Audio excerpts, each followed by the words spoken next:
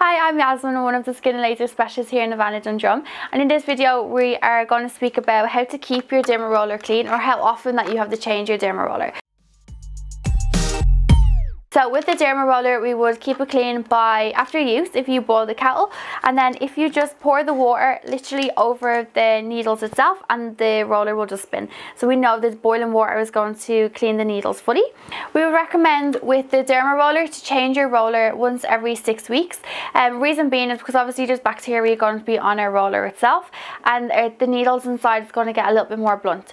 So the fresher the needles, obviously the better your results and it's only needed to be changed once every six weeks obviously depending on how often that you are using it so if you are using it two to three times a week or even four to five times a week it will be once every six weeks change to a fresh one.